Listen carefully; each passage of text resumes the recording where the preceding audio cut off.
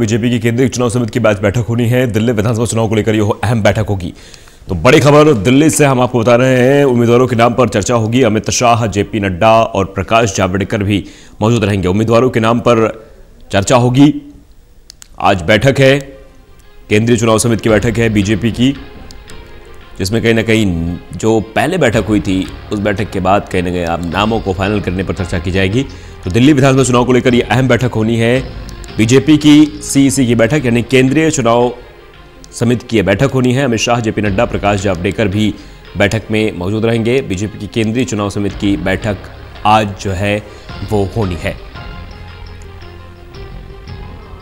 तो टिकटों को लेकर मंथन जो है, वो दो मीटिंगों में चल हुआ था। उसके बाद कहीं ना कहीं अब ये केंद्रीय चुनाव समिति की बीजेपी की बैठक होगी। इस बैठक के बाद कहीं ना कहीं नामों को फाइनल कर दिया है, क्योंकि अगर बात की जाए नामों को लेकर तो आम आदमी पार्टी ने अपने सत्तर सीटों पर उम्मीदवारों का ऐलान कर दिया है। अब बारी है बीजेपी और कांग्रेस की। कांग्रेस में मंथन चल रहा है। बीजेपी में दो मीटिंगें हो चुकी मंथन हो चुका है, और जल्द ही बीजेपी अपने उम्मीदवारों का ऐलान कर सकती है। आज केंद्रीय चुनाव समिति की बैठक होनी है, उसके बाद कहीं ना कहीं नामों का ऐलान किया जाएगा। तो बीजेपी केंद्रीय चुनाव समिति की बैठक आज होनी है।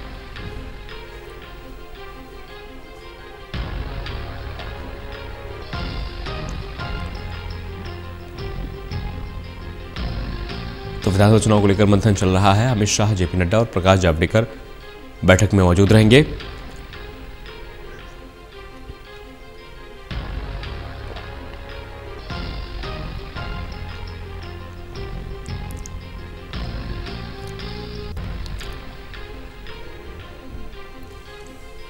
ललित नारायण कांडपाल हमारे साथ संवाददाता इस खबर जुड़ चुके हैं। ललित साहब तौर पर देखा जाए तो कहीं ना कहीं आज बैठक होनी है।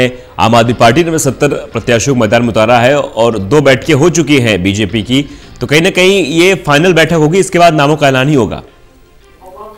बिल्कुल निश्चित तौर पर ये अंतिम बैठक ही होगी आज जो केंद्रीय चुनाव समिति की बैठक है। हम्म। और ये जैसे हमने देखा कि आम आदमी पार्टी में पॉलिटिकल अफेयर्स कमेटी की बैठक के बाद तुरंत लिस्ट आ गई थी। उसी तरह से भारतीय जनता पार्टी में भी आज केंद्रीय चुनाव समिति की बैठक होनी है और चुनाव समिति की बैठक के बाद जो है फैसला हो जाएगा कि लिस्ट कब आएगी और। माना ये जा रहा है कि आज अगर देर रात तक ये बैठक चलती है हम्म। तो फिर कल जो है जो बीजेपी की लिस्ट है हम्म। वो आ जाएगी कितने बजे बैठक शुरू होगी ललित माना जा रहा है कि पहली लिस्ट आएगी या फिर एक साथ सारे कैंडिडेट की लिस्ट आएगी कितने तो ये कुछ चीज़ें हैं जो कि आज की केंद्रीय चुनाव समिति में तय होंगी। अब उसके बाद देखना होगा कि आ, किस इलाके से कौन जो है टिकट पाने में कामयाब होता है। नहीं साफ़ तौर पर कहीं ना कहीं एक नई रणनीति बनाएगी जिस तरह से पहले जो है आम आदमी पार्टी ने प्रत्याशियों की सूची जारी कर दी है तो कहते बीजेपी उसी रणनीति के हिसाब से एक बार चर्चा और करेगी। बिल्कुल। देखिए ये बीजेपी का सिस्टम है कोर पहले ही चर्चा राज्य स्तर पर होती है फिर कोर हम्म। कमेटी होती है हम्म। और कोर कमेटी के बाद जो है केंद्रीय चुनाव समिति होती है हम्म। तो केंद्रीय चुनाव समिति में आज जो है अब सत्तर नामों पर चर्चा होगी और उसके बाद केंद्रीय चुनाव समिति क्या बैठक क्या निर्णय लेती है ये जो है आज शाम की बैठक के बाद ही पता चल जाएगा और लिस्ट कब तक आएगी ये भी चीज़ें सामने हो जाएँगी सामने आ जाएँगी तो देखना ये होगा की एक सवाल है क्योंकि आम आदमी पार्टी ने इस बार जो है 24 नए चेहरे उतारे हैं मैदान में तो क्या जो है इस बार नए प्रत्याशियों को भी मैदान में बीजेपी उतार सकती है